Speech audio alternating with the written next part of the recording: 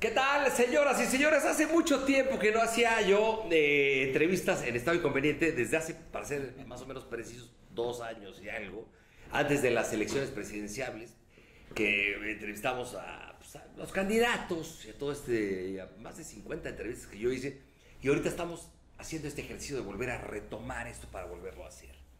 Y para mí es un placer, de verdad, platicar con dos figuras que se me hace raro que otras épocas usted hubiera dicho, ¿y qué hacen juntos? Es el coordinador de, de los senadores eh, pues en el Senado, está con nosotros Mauricio, iba a decir Macri, Mauri- ese es el dueño, ese es el presidente, Mauricio Curi González. Servidor y amigo tuyo, muchas gracias. Mauricio, muchas gracias. Hermano, encantado. Y de este lado, a mi lado derecho, tengo a un gran amigo, yo la- lo considero amigo. Olvidémonos de la política, porque luego ustedes se meten en esos temas. No, no, ahorita vamos a platicar en serio, los voy a cuestionar. Pero sí quiero decirles que es un gran amigo mío y lo respeto y lo admiro. A mi querido Miguel Ángel Osorio Chong, que es el coordinador de, la- de los eh, senadores del partido del PRI. Me da mucho gusto saludar. Mi hermano, qué gusto. Estar aquí también con Mauricio y saludar a todos los de Antes que nada, ustedes dos son amigos. Desde chiquitos, ¿Cómo de qué edad? eh, ya grande. Perdón, A ver, hermano. güey, yo la muy buena, eh, pensé que estaba buena. Bueno, como a los cuantos años. No, lo conocí ahora que llegué, pero la verdad es que hicimos muy buena empatía aquí. El coordinador y yo, yo siempre respetándolo pues, toda la trayectoria de- del coordinador Osorio y muy agradecido porque hemos hecho un buen equipo, pues no para los partidos, sino un buen equipo para México. Pero a ver, a ver, Mauricio, eh, digo, hay cotorreo aquí, pero de repente hay que hablar en serio. Dime una cosa, eh, en otra época, hacer, juntarlos, bueno, yo más que no soy periodista, porque lo, he- lo he dicho 20 veces, pero me encanta la política y creo que le sé un poquito y puedo preguntarles cosas que creo que sí sé. Esto no se hubiera podido haber dado en una, No. por ejemplo, cuando estaba el señor Cloutier, que paz descanse, con eh, Salinas y en una entrevista, no se hubiera podido haber dado. Yo llevo poco en la política, pero yo te aseguro... Empresario, tú eres. Toda mi vida he sido empresario, pero yo te aseguro que para mí hubiera sido un honor siempre ser amigo de- de- del coordinador y yo la verdad que lo estimo en este tiempo que llevo de conocerlo, como se lo llevara conociendo de muchísimos años y yo sí hubiera sido amigo de él desde mucho tiempo antes, no ahora por un tema de coyuntura política, sino porque verdaderamente lo considero una persona de bien. Ahora, eh, Mauricio, tú, por ejemplo, porque he leído un poco de ti, tú empezaste un rollo en el aspecto de, de- de- eres empresario, eres de Orizaba, Veracruz. Eh, ¿En qué momento dices, me latería este rollo de meterme en la política? Sí sabes dónde estás parado. ¿Sabes, a Mira. lo que, ¿Sabes a lo que te estás metiendo? Mi familia me dice todos los días que qué necesidad de haberme metido en este rollo. Pero yo creo que hay que meternos ahora sí por obligación más que por necesidad. Obligación de poder cambiar. Las cosas no están bien en el país tenemos que hacer algo al respecto. Y hay que entrarle con valentía y echándole muchas ganas porque las cosas no están bien y pues es importante hacer eh, frentes comunes para poder combatir lo que yo estoy convencido es un retroceso para el país. Ok. Ahorita vamos a, te voy a preguntar unas cosas precisamente del PAN, que es mi opinión, mi, muy, muy humilde opinión. Pero a ver, Miguel Ángel, en tu caso, tú, digo, fuiste gobernador de Hidalgo, eh, bueno, un poquito más atrás, no exactamente, pero fuiste secretario de, gobernación en el gobierno del expresidente Peña Nieto, y ahorita estás como senador y aparte eres el coordinador de, la Cámara de, ahí, de, los coordinadores de- del- del- del Senado, del PRI. ¿Cómo, cómo, ¿Cómo ves tú lo que está sucediendo hoy en día ahí? ¿Qué es lo que está haciendo el PRI? Porque yo, perdóname que te lo diga, pero yo siento que veo a un PRI que tal vez ya no sea una oposición tan fuerte como lo fue hace mucho tiempo y menos para Moreno hoy en día. Mira, primero yo no sé por qué no se daban antes los acuerdos, por qué no se daban los encuentros como tú dices.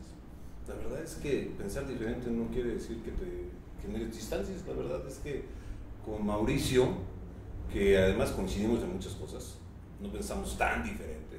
O sea, la verdad queremos los mismos objetivos, queremos que, la- que las cosas salgan bien en el país. Y pues nos hemos hecho no solamente aliados, eh, sino muy buenos amigos.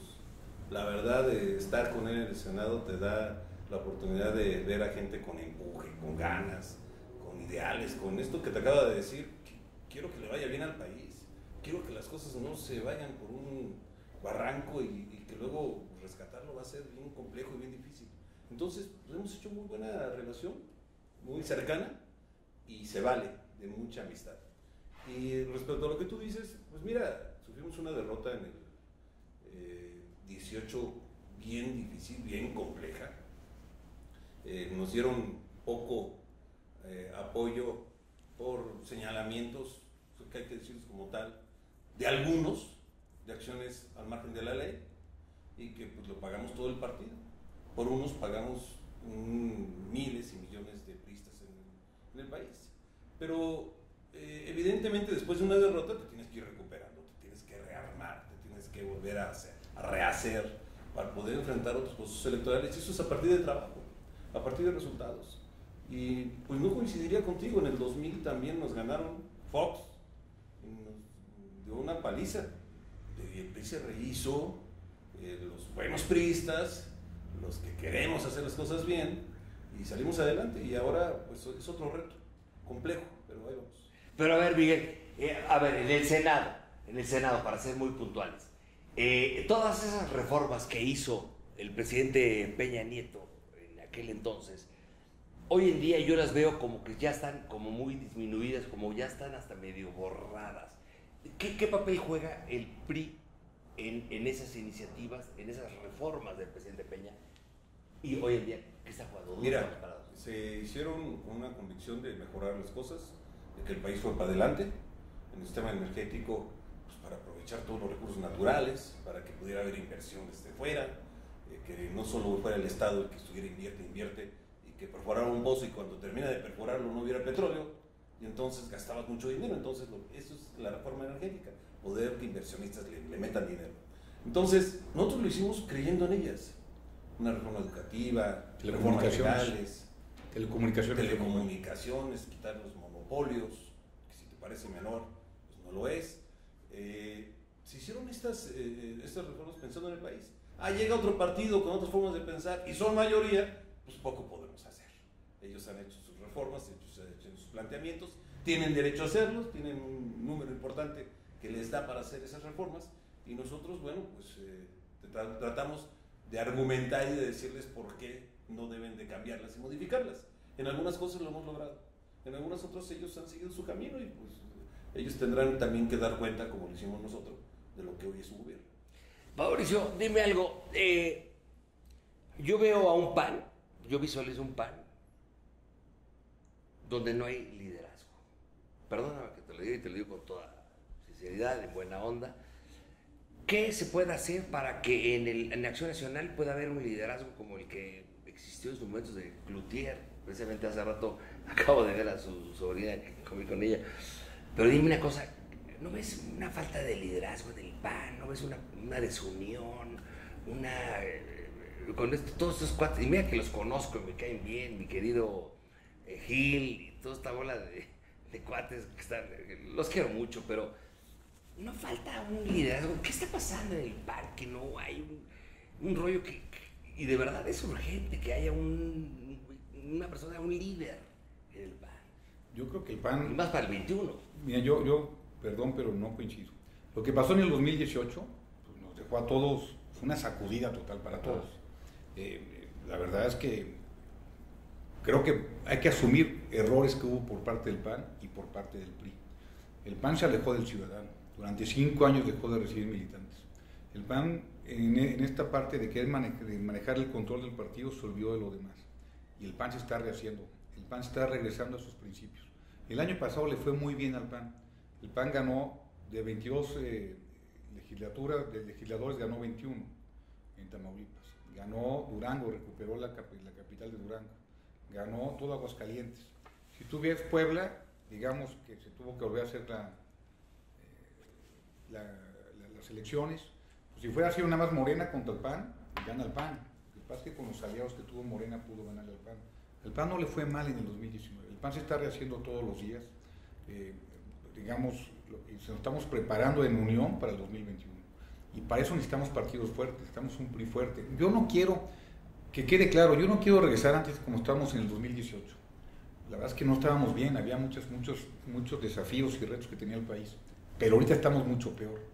Y en, este sentido creo que el PAN tiene que trabajar, el PRI tiene que trabajar. Y en esta guerra como de extinción que saca Morena para acabar con el PAN o para acabar con el PRI, están equivocados. Yo no quiero que Morena desaparezca. Morena tiene que estar. tiene, que estar. pero también el partido y también el PRI, porque somos muchos los mexicanos que pensamos diferentes y en las diferencias tenemos nuestra ventaja competitiva. Y pareciera ser que el primero que nos debe de unir es el primero que nos está separando y dividiendo. Fíjate, y se los digo aquí, pero yo vamos a compararlo un poquito con el fútbol, que yo soy futbolero. A mí cuando me preguntan, ¿te acuerdas de aquella época donde ahorita porque ya no se pueden ir por la pinche corrupción del fútbol, que es un desastre, ¿no? Hay que decirlo. Pues, hay decir las cosas con la verdad. Es un desastre el fútbol mexicano. Ya no hay, no hay descenso, no hay descenso. Pero había un momento donde Chivas eh, peligraba por ir a segunda, a primera A. Y me preguntaban a mí, yo no quiero que las Chivas se vayan a primera A. Es importante que las Chivas estén en la primera para competir contra el América, que es mi equipo. Y contra Cruz Azul. del mundo, y contra Cruz Azul. ¿Hay otro? ¿no? El, Los gallos. El, el primer, el mejor equipo del mundo es el América y el segundo son las reservas del América. Pero bueno, a lo que voy es a lo siguiente, Mauricio. ¿Cuál es tu opinión? ¿Qué le faltó, por ejemplo, a Ricardo Anaya? Bueno, ahorita ya está de regreso, hace unos días acaba de anunciar que va de regreso. ¿Qué le faltó a Ricardo Anaya en, esas, este, en esos eh, debates? Eh, No, los debates los ganó todos. Pero, Entonces, ¿qué pasó? Los debates, Yo lo vi mira, ganar. oh, mira, la verdad que el- la gente me votó enojada. La gente me ¿El decía... hartazgo al Y- PRI? y- Perdón, pero- Y al PAN. y al PAN. Según hartazgo, que la gente estaba muy enojada por muchos excesos que hubo. Y estoy convencido que en este, que fue la gente estaba enojada y pensaba que no podía estar peor. Y la verdad que sí estamos peor. Mi papá siempre me decía, nunca digas que no puede estar mejor, porque siempre puede estar mejor. Claro. Pero también siempre puede estar peor. Y estamos mucho peor. Y que esto nos sirva para el 21. Que esta gran sacudida que nos, que nos pasó a todos, que nos sirva para que los empresarios, los medios de comunicación, todos sepamos que si no participamos en política, si no nos metemos, pues no nos quejemos que después puede llegar un populismo que desde mi punto de vista le está haciendo mucho daño al país. Miguel Ángel. ¿Quieres hablar de fútbol primero? Digo, podemos No, hablar de los tú- usos tú- de. No, el Pachuca. Y, y yo estoy de acuerdo contigo, es un gran equipo el América, tiene dos grandes No, equipos. bueno, Pachuca sí No, no, tiene- tiene el y equipo tiene una, titular. una directiva maravillosa el, el el- buen. el América tiene el equipo titular muy bueno y el equipo de árbitros también verdad, Eso estuvo como un poco logrado. Eso estuvo un poco fuera de lugar, pero si ya me vas a preguntar eso, entonces yo te voy a contestar de la siguiente manera. Nada. Oye, Miguel, ¿qué, qué, qué está pasando? ¿Cómo ves tú, por ejemplo, el... antes era un partido de oposición, bueno, todo el mundo sufría contra el PRI, decía, no mames, güey. El PRI, el PRI, wow, no le va a ganar jamás. Pero ¿tú crees que ahorita que el PRI puede hacer un partido de oposición contra Morena para el 21 y para el 24? A ver, no, no hay victorias para siempre. No, Porque- estoy preguntando, no sé, no sé. No, no, no, déjame platicártelo. No hay victorias para siempre, ni derrotas para siempre. Eh, la verdad es que no lo vimos ser, hablando de echarnos un tequilita, borracho que cantinero. Entonces, eh, pues puedes ser oposición y entonces señalas todo, que no se puede hacer todo en el país cuando gobiernas, y entonces pues puedes derrotar al que gobierna. Ahora son gobierno. Y ahora los retos son enormes y los resultados son Y hay que ponerse las pilas. bueno, pues ahora les toca a ellos. Y nosotros somos oposición. Y ahora nos toca señalar, incluso ayudarles, porque les tratamos de ayudar, para que las cosas salgan bien. Pero bueno, la cosa es que los resultados están siendo pues, muy, muy diferente a lo que en campaña se tuvo, dice, dice, dice.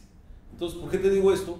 Pues bueno, pues ahora nos toca competir siendo oposición a, a un Morena que está muy posicionado, que sacaron un chorro total de, de votos. Ah, Estás hablando de 30 millones de 30 votos. millones de votos, eh, que pues, le ganó a toda la oposición junta, pero bueno, ya gobierna, ya tiene el desgaste de gobierno, eh, ya de la popularidad, de los porcentajes que tenía Morena hace dos años ya casi, pues hoy tú revisas estado por estado y ya el PAN ha rebasado en algunos, el PRI está este, adelante en otros, o sea, y no nos debe de asustar porque además en el mundo de repente gobierna un país, un, perdón, un partido, y de repente otro que nunca se veía que iba a gobernar, llega y gobierna, y luego vuelve a perder. Esas son las democracias, las verdaderas democracias, en las que pueden participar unos y otros, y ganan unos, y luego ganan otros.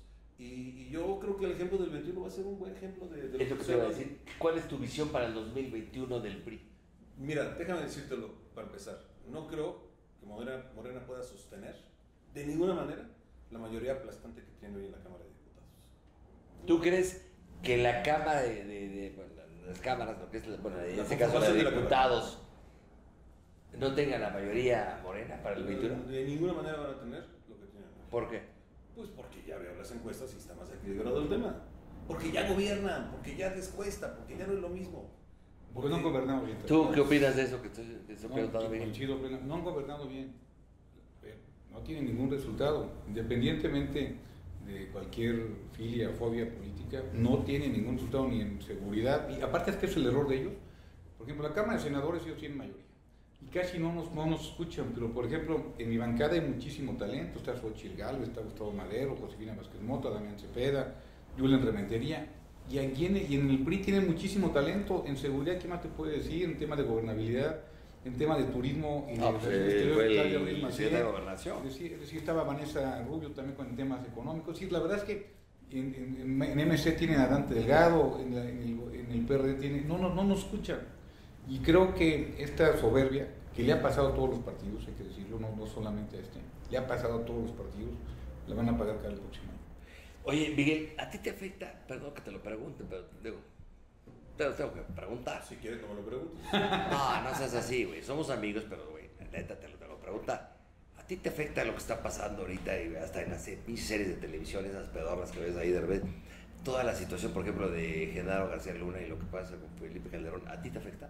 No. Como secretario de Gobernación. Mira, déjame decirte que eh, en toda mi carrera, te lo digo de verdad y viendo a los ojos y platicando ante quien sea, he hecho mi- mi- el mejor de mis esfuerzos por entregar buenos resultados, por no meterme en tonterías, no meterme eh, en ningún tipo de acuerdos, pactos, en ayudar a quien no se debe. Entonces, pues, quien se mete en cosas así que la paguen. Eh, a mí no van a ¿Cómo de Calderón? A ver, si me saben algo, que lo denuncie. Yo te digo lo mismo. ¿Tú podrías estar igual? Y mira que he sido fui secretario de Gobernación y que si hay este tema, a Miguel Osorio. Si hay este otro, Miguel Osorio. Órale. O sea, la verdad es que no se trata ni de héroes ni de valientes. Simplemente digo, yo no me metí en esas cosas y no tendrán un solo elemento para decirme, estaba vinculado a, ayudó a, a nadie. ¿Duermes tranquilo? Mira, déjame decirte que se detuvo de 128 objetivos a 114. Y de los grandotes, ¿eh? De los muy grandotes. Entre ellos, pues, el Chapo. Y no una, Dos veces. dos veces. Entonces, Pero esa salida y esa pinche fuga. bueno, pues sí, la verdad es que eh, cubrimos eh, mar, aire, pero nos faltó su suelo y se nos fue. Entonces, eh, fue una gran hazaña de él, pero la mayor fue la del Estado mexicano. Y de haberlo detenido. mira. detenido dos veces, en seis meses, para que todos los que andaban ahí estaban haciendo películas, que si yo lo dejé salir, eh, en seis meses se le volvió a detener luego con la inteligencia de las gentes que trabajan en el claro. Estado mexicano. Que luego también de repente, puta, todos somos reporteros, todos sabemos la verdad. Nadie sabemos una chingada, cabrón. Es la neta. Mauricio, Dime, hermano. a ver, Mauricio. Dime a tus órdenes. ¿Quieres ser gobernador de Querétaro? Mira, yo. De huevo, dímelo. que no puedo decir otra fuerte porque te puedo decir. toda No, una cosa, no, mi pregunta es otra. ¿Quieres? Déjame, déjame decirte algo. Ah, bueno, te cabrones, te pregunto. Cuando fui empresario, nunca me puse un techo para poner, quiero una tienda, dos tiendas que yo pueda manejar. Y cuando me metí ahora el tema de la, de la- del servicio público, hasta donde yo pueda llegar, pues cualquiera quisiera ser gobernador de su estado que se dedica al servicio público. No, es que no, no, no, a ver, no me contestaste. No hay mayor privilegio. Este güey, ¿qué tal que le dices? A ver, a ver, este, mi querido eh, Giovanni Dos Santos, Eh. el fútbol, ¿cómo lo viste? Fue un gran No, gol. déjame Bueno, yo creo que va a dar Es que, gol. espérate, Jorge, déjame No, no, no, te preguntes, Es que- ¿quieres o no? Es que déjame decirte, hoy la ley, No me si permite. tú dices y contesta tu pregunta, Ah, pe- perdón. Anticipadamente. Bueno, discúlpeme, cabrones. Hermano. Yo no soy periodista. no, no, no, pero lo puedes. Dime lo la puedes- lo neta. pueden, Me este, pueden acusar de acá. Ah, ve, te ofrezco una disculpa no. Ah, está la lo que cámara. sí- lo que sí no se sabía, vale. papá, no te No, no, cabrones. no, No, ¿cómo crees? sabía. Lo que sí se vale, Jorge, es decir que uno tiene aspiración de servir y servir bien. ¿Te gustaría? Ah, y es diferente. ¿Es, es buena esa pregunta? Eres muy bueno, yo no sé qué. ¿Es buena esa pregunta? ¿Te gustaría ser gobernador? Sí, sí. ¿Qué le falta a Querétaro? A. No, pues Querétaro tiene muchos desafíos. Sin tirarle a Panchito Domínguez, no, que ni lo conozco, pero le mando gobierno, Sin tirarle. Querétaro, ¿Qué le falta a Querétaro? Pues por de entrada, seguir defendiendo Querétaro en el sentido de que no entre el crimen organizado a Querétaro. Está muy bien Querétaro, de hecho. ¿eh? Sí, falta mucho, hay que decirlo. O sea, hay retos y hay Y desafíos. Luis Nava, le mando un abrazo muy grande, por Dice cierto. que acaba de hacer su informe y acaba de dar muy buenos resultados, por cierto, mi buen Luis. No, pero por ejemplo, el tema de movilidad, Querétaro ya necesita una cirugía mayor en, en la parte de movilidad. Tienes la razón, porque se Este- están yendo semanas, eh, familias y familias a, a vivir ahí. Dicen que 45 familias ya. Yo, yo, yo goberné el municipio que está pegado a los zapaseos Sí, que fue este, Corregidora. y me tocó meterle mucho al tema de seguridad. Yo le voy a apostar, creo que Querétaro tiene que apostar mucho a la seguridad. Es una parte importante y otra parte la inversión, seguir dando certidumbre para que siga llegando inversión a Querétaro. Oye, el otro día iba, Miguel Ángel, hace unas semanas iba yo en mi coche. Mi vieja que está embarazada con una pinche panzota así preciosa. La veo y le digo, ah, es neta. Muy guapa. Mi vieja, que la amo tanto. Ella van a ser mi Carlotita, mi tercera hija. Íbamos, sí, antes de llegar a la, a la caseta esta de Palmilla, Palmilla. Palmilla, por sí. las están las pinches barbacoas esa Sí, de deliciosa. Y, y el carril La barbacoa de, de- México, ¿no? Porque la de Hidalgo es más o menos. No, no, no, iba yo a. No, la barbacoa. La barbacoa de Hidalgo es más o menos. Bueno, la de Santiago. No, no le tienes porque mis carnales y mi banda preciosa de, de Hidalgo, que he ido ahí y de verdad también son También son- chambeadora también y también les mando un beso y esos pastes preciosos. Besos a la gente de Hidalgo, disculpa, papá, ahí estoy contra ti. Pero iba yo en el coche y de repente me cambio el carril en medio. ¡Pah! Pinche llanta a la mierda. Yo, ¡ay! Mi vieja embarazada, güey, hace una semana. Y le puse capufe, hijos de su patapa, cabrón. Y, y arrobé a gobierno de, de Quintana Roo. Ojo. De Querétaro, ¿no? Porque De Querétaro, Querétaro. No tiene nada que ver eh, el gobierno, porque son las carreteras. Carretera federal, Pero claro. estaba yo muy cabrona.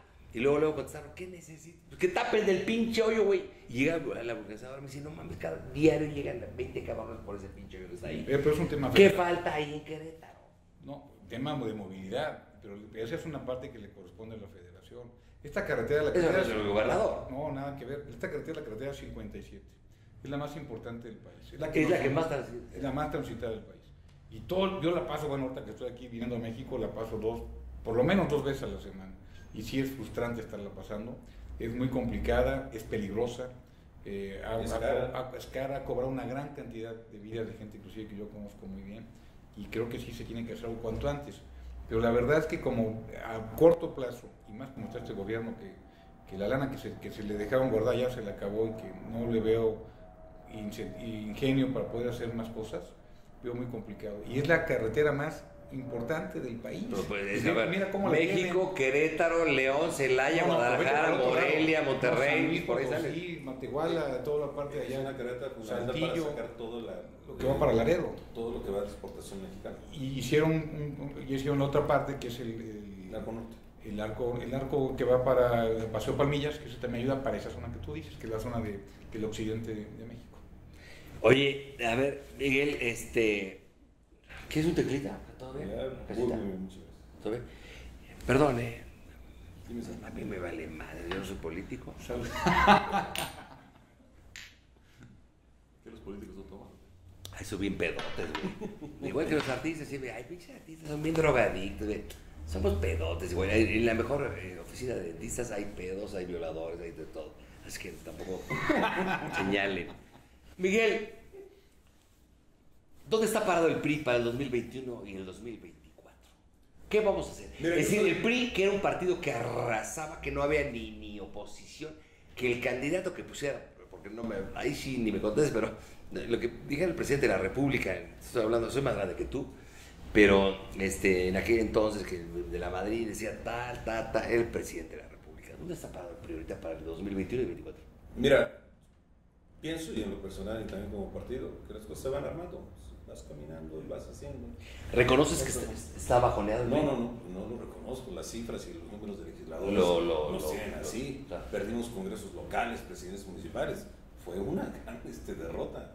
Bueno, pero pues, poco a poco hay que ir recuperando. Y, y yo veo un PRI que eh, va a ser más competitivo nuevamente en el 21. Y ya después hablamos del 24.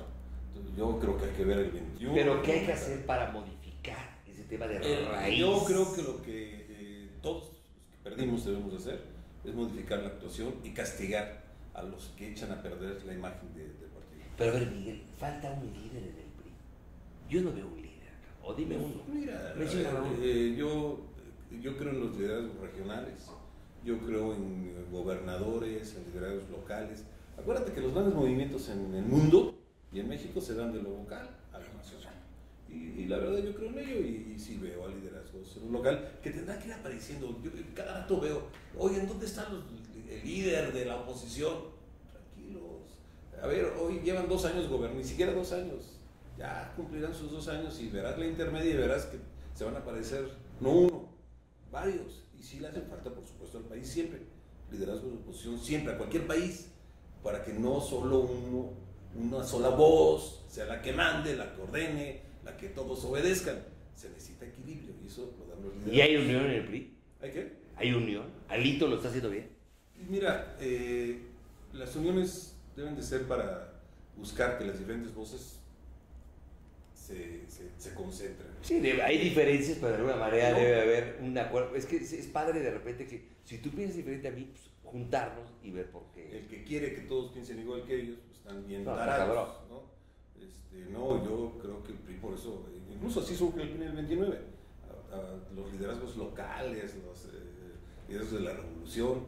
Bueno, pues hoy no, no son, son, los liderazgos de la revolución, pero sí son liderazgos que exigen, que piden, que están molestos, eh, que quieren eh, nuevamente entrar al, al, campo de las elecciones. Y yo sí creo en los buenos resultados que puede tener el PRI. ¿Y el PAN dónde está? Pues es la posición más fuerte. Es, la oposición más fuerte. Eso que iba a carterear a, a Mauricio. No, no, no. Es la oposición más fuerte en este momento. Creo que tienen que agarrar la responsabilidad que tiene. Coincido con el coordinador. Este es de lo local a lo nacional. Y, y de verdad, a veces la gente me dice, oye, es que no vemos oposición. Yo me rifo todos los días ahí en el Senado, junto con un bloque de contención que detenemos las ocurrencias constitucionales que nos sacan a cada rato. Eh, pero la verdad es que el ciudadano en el 18 dio, un mandato muy fuerte, le dio un cheque en blanco a un movimiento que desde mi punto de vista le ha perjudicado mucho al país y que sí necesitamos, como bien comentan, pues esos contrapesos. En este momento el contrapeso más fuerte son ustedes, medios de comunicación, son la sociedad civil y son las cúpulas empresariales. Nosotros, nuestro trabajo es ser oposición y estoy convencido que necesitamos el 21 para el 24. Necesitamos llegar muy fuertes para el 21 para poder ser competitivos en el 24. A ver, Mauricio Miguel, es que de verdad yo de repente escucho a gente, voy, yo de repente viajo en Uber, que el taxi y todo, porque voy, estoy grabando una serie ahí en La Obrera, y, y, de repente digo, y les pregunto cosas, y la gente sí, sí, sí está hasta la madre de repente. De, los gobiernos, ah, ojo, ojo, ojo, no hablo de ningún partido. Están hasta la madre de todo este pedo de lo que pasa aquí. Porque, y les pregunto, ¿y qué es lo que ven? Es que todos ven por sus pinches intereses de que ganar y la ganar. Pero ¿para qué ganar? ¿Para qué? Y todos las manitas acá, y la madre. Pero es la, es la, tienen razón, cabrón. La gente del pueblo está encabronado. De encabronado de todo lo que está pasando en este país. De repente dice, y que si, ok, ya entra un nuevo gobierno, ta, ta, ta, ta, ta, ta. Yo te pregunto, ¿qué opinas del regreso, por ejemplo, de Anaya, Ricardo Anaya? Yo creo que ya se anunció que va a sumar para el PAN. Yo creo que suma el PAN y suma el, y suma el país. ¿Tú lo conoces? Sí, sí lo conozco. ¿Cómo te llevas con él? ¿Bien? Bastante bien. ¿Qué opinas de él? Es una persona muy inteligente y muy capaz. Yo creo que todo eso suma. Mira, en este momento el país, eh, estamos en franco, se está deshaciendo el país en las manos de los que los, que los dicen que los tienen que estar manejando. No lo están manejando bien y necesitan un contrapeso. Y este contrapeso urge. Y lo que no estoy de acuerdo con lo que tú acabas de decir, se vale que la gente esté enojada, pues ha habido muchas cosas que no han estado bien. Puta, pero pues lo que, no se vale lo que no se va es que no participen. Ah, no, no, no. Bueno, el, el, clásico que dice, no voté y criticas Betramía. No, pero nada más es el día de la votación. ¿eh? Tú pregúntale a la gente quién es su diputado federal de Morena. No sabe. El, no sabe. diputado local, su regidor, no su sabe. senador. Hay que preguntarle, hay que, hay que, exactamente. Hay que, a ver, googleas el nombre de tu pinche diputado, papá, papá, y ahí, ahí, ahí, ahí, ahí ves. Tienes forma de cómo pedirle, me envía redes sociales, tienes mucha forma de cómo acercarte y exigirle. Querétaro según el, el, el, presupuesto de egreso para el próximo año, están bajando mil millones de pesos. ¿Dónde están sus diputados de Morena que están votando a favor de eso, como lo votaron el año pasado? Es decir, esa es la parte que tenemos que exigirle a la gente. Por ejemplo, tú mismo estabas pidiendo en una carretera federal que te, que te respondiera un gobierno estatal. Y la verdad es que tenemos que, que, tenemos que entender más lo que está pasando y exigirle a la gente. ¿Sabes por qué? A mí me gustaba, siendo empresario, que tener clientes muy, muy exigentes, que me hacían ser mejor empresario, mejor servicio, me hacían ser más productivo. Si nosotros, Pero los escuchabas. Claro. Los paquetes no escuchan. Es que- es pero necesitamos, pero Querétaro ¿no? yo creo, de verdad, yo creo que Querétaro, uno de sus cosas por qué ha ido bien, es que tenemos eh, eh, ciudadanos que le exigen a las autoridades. A Luis le exigen un chorro en la calle. Cuando yo era presidente municipal me exigían muchísimo. Yo ahorita comentaba, pasé, estamos aquí cerca de Polanco. Polanco es de los, de los mejores. Y la verdad es que ves que faltan servicios, falta muchas veces seguridad y creo que eso tiene que estar exigiendo Ah, no, bueno, la seguridad, el propio no. ciudadano. El propio ciudadano es el que te tiene que estar exigiendo y eso es lo que tenemos que seguir haciendo todos los días. A ver, por último, dime, a cada uno le pregunto lo mismo, este, ¿cuál es su opinión hasta hoy, ya dos años casi, de el presidente de México, Andrés Manuel López Obrador? Para ti, Miguel, Primero, decirte, mira, con sí es cierto que la lo gente, pregunto. ¿no? Este, eh, primero decirte de la gente eh, que dice ya estoy hasta el gorro, ya gobernó la derecha, ya gobernó la izquierda, que es los que están ahora, ya llegó centro, ya gobernó centro izquierda durante muchos años, que es el PRI, y de repente dice ya estoy hasta el gorro. Pero es el sistema que, que tenemos aquí para eh, elegir a nuestros, a nuestros representantes. ¿eh? Y lo peor que, como lo dice Mauricio, es que no participen. Eh, ah, que los independientes, pues preguntas a los de Nuevo León cómo les fue. Eh, la verdad es que eh, yo creo que hay que ajustarnos al sistema de partidos que tenemos y que ahí cada partido se haga responsable de sus candidatos y exigirles con mayor, eh, eh, con, con mayor fuerza que cumplan con lo que tienen bajo su responsabilidad. Eh, te decía hace un rato, mucho se dijo en la campaña, mucho se dijo durante 18 años buscando la presidencia que se haría frente a los Estados Unidos, que generarían crecimiento, que habría de apoyar a la micro, pequeña, mediana empresa, eh, que a las mujeres, y la verdad es que hay una deuda enorme, enorme que está pasando en este Entonces, No tenemos- que lo que no, lo que se dijo no se ha cumplido No, o bueno, no se ha hecho. pues, es tan simple como ver los discursos. Si no se trata, no trata de lo que yo diga, porque hoy afortunadamente estamos mejor comunicados. No, no, no. Hoy, hoy puedes decir, ¿qué decía antes respecto a la relación con Estados Unidos? Y lo primero que vas a encontrar es, en el momento que el presidente Trump se le ocurra decir algo de los mexicanos, yo voy y le digo y le contesto. Y bueno, luego hoy encuentro que nos sigue diciendo, inventando la madre Trump, y pues no veo ninguna respuesta hacia ellos. Entonces, eh, hoy las comunicaciones te permiten que en un segundo sepas qué decías antes y ahora qué, qué qué, qué han hecho. Entonces, eh, yo creo que hay que, hay que, actuar- hay que hablarlo con calma. Hay, nada más hay que referirnos a lo que se pensaba antes de ser gobierno y que ahora que se es gobierno, pues, eh, pues ya todo aquello del que criticabas, que señalabas, pues resulta que en ninguno de esos rubros has... eh, en cuanto llegue la seguridad va a cambiar. En cuanto llegue ya no va a haber ningún delito que, que perseguir. Híjole, Está pues ve las cifras. Mira, ahí está Biden, por ejemplo, el, el candidato que va a ser la oposición de Donald Trump, que dijo, se adelanta y dice, el muro no lo va a pagar México, lo vamos a pagar nosotros, y se lo traga ya el presidente, los discursos del presidente Trump. En tu caso, ¿qué opinas de- de- del presidente Andrés Manuel Obrador? Dos años de Yo creo que sí es un luchador social que se está equivocando porque en lugar de estar uniendo está dividiendo. Lo peor que ha hecho este gobierno es polarizar entre buenos y malos, cuando pues, todos somos mexicanos y cuando queremos lo mismo pues debemos estar sumando. Yo creo que no ha dado un solo resultado. Los únicos dos resultados que yo veo de este gobierno es se subió el salario mínimo, que era importante, y se por lo menos se puso en la, en, la, en la agenda nacional excesos que hubo en el pasado. Esa parte yo lo veo correcto, pero en lo que no, en lo que no puedo estar por ningún motivo de acuerdo es en esta división tan grande que se ha hecho, que no ha dado ningún resultado que se quiera saltar la ley y un ataque total a las instituciones. Cuando tú preguntas, les está preguntando a los ciudadanos el próximo año si aplica o no aplica la ley, si es que, si es que tiene algo, algo contra los expresidentes, se me hace terrible. Es un circo mediático y debemos estar viendo lo que a la gente le interesa todos los días, pues que es que no tiene pachivo. Cuando Morena hablaba y decía primero los pobres, yo entendía que era para sacarlos de pobres, no para meterlos. Ahorita hay 69 millones de mexicanos que no tienen para, para la, la canasta básica al día de hoy. Y antes, ¿cuántos tenía? Eh, han subido 12 millones.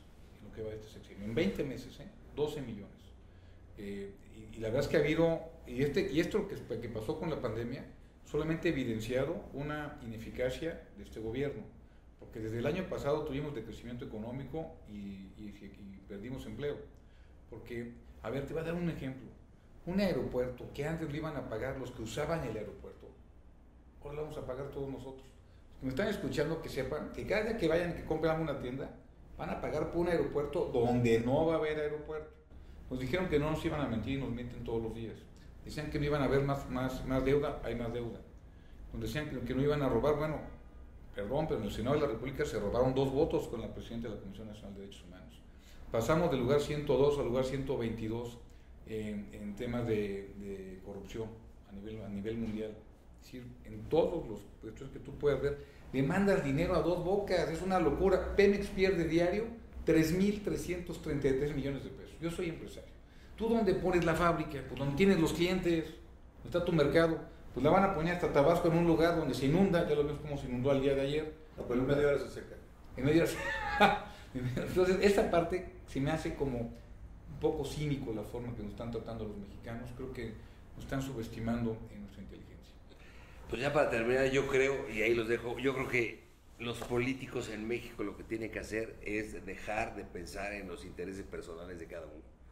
Y el día que eso ocurra, créanme que este país va a cambiar. Puta madre, chingo a mi madre si no. Perdón por la palabra. No, pues tienes razón. Mira, yo lo que creo es que. Es que la neta, Miguel, todos buscar- los países debemos- políticos, muchos ven en sus intereses personales. buscar un poquito mejores acuerdos, escucharnos un poquito más unos a otros. El problema es cuando llega un solo gobierno y quieres gobernar solo en Una visión. tus ideas, en tu visión. Ah, no, eso es otra historia. No, pues es que es la que le hace daño al país. Cuando, si todos nos ponemos de acuerdo. Yo me acuerdo cuando teníamos problemas de seguridad que les propuse que hiciéramos policías estatales fuertes. Lo que me hicieron en el Congreso es votar en contra de los que gobiernan. Y cuando ellos llegan y nos piden la, la, Guardia Nacional. Guardia Nacional, órale. O sea, hay que dejar de pensar efectivamente en los intereses propios de un partido y en los personales, por supuesto, y tratar de pensar en visión de largo plazo para el país. Por eso grandes países han salido adelante, porque se ponen de acuerdo en lo fundamental, en qué. Ah, pues en seguridad vamos todos juntos y nada de que llega un gobierno y lo cambia. Vamos porque esto es lo que le hace bien. En, eh, en seguridad esto otro. Esa es la forma de pensar que se tiene que tener, la de cambiar, en la de no estarnos polarizando, porque pues hoy ya no estamos peleando unos con otros y eso, eso le va a hacer mucho daño al país. Claro. Por último, la pandemia, ¿cómo se está manejando en este país? Tenemos de la...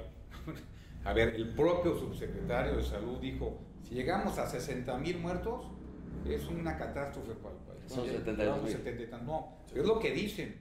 Según el INEGI son 200 mil, ¿eh? O. Sí, es un, es un mentiroso este cuate de López Gatel. Ah, no, O sea, no y- conozco. o sea, eso más, no, yo, yo sí lo sostengo. Es un mentiroso, es un cuate muy soberbio y es un cuate que yo lo he visto, he platicado con él y la verdad es que me- creo que le está haciendo mucho daño al país y al presidente. Le miente al presidente y le miente a los mexicanos todos los días.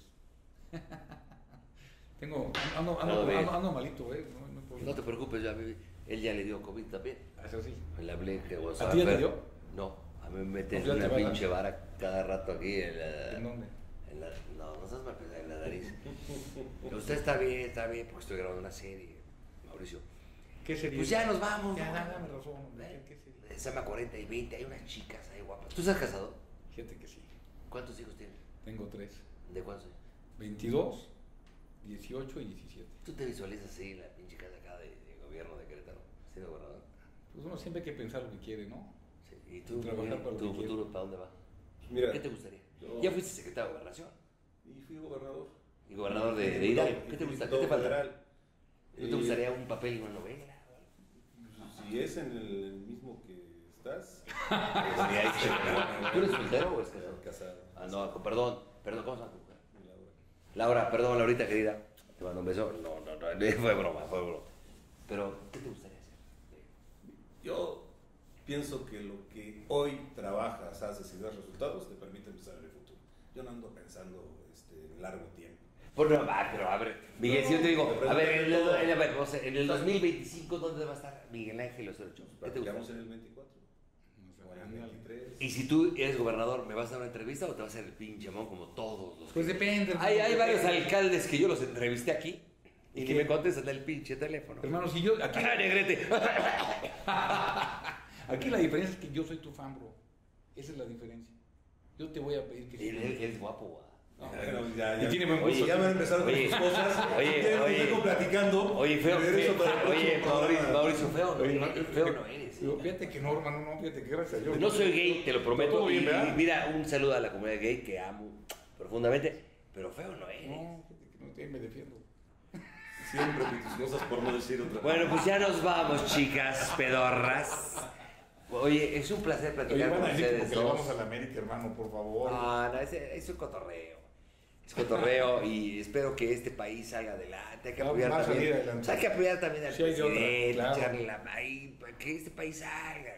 Ya, dejémonos de mamá. Pues rapidito. Ya no se peleen, mi hermano, lo que tú quieras. El 80% de lo que ha propuesto Morena los hemos acompañado.